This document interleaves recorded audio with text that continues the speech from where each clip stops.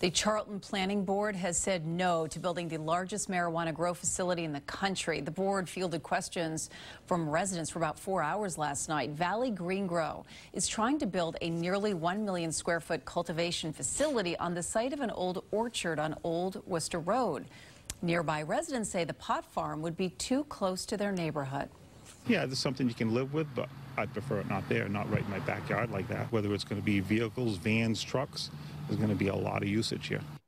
The board will consider a new proposal from the company at their next meeting later this month. If the company gets the town's approval, it would still need to get a license from the state and the Cannabis Control Commission.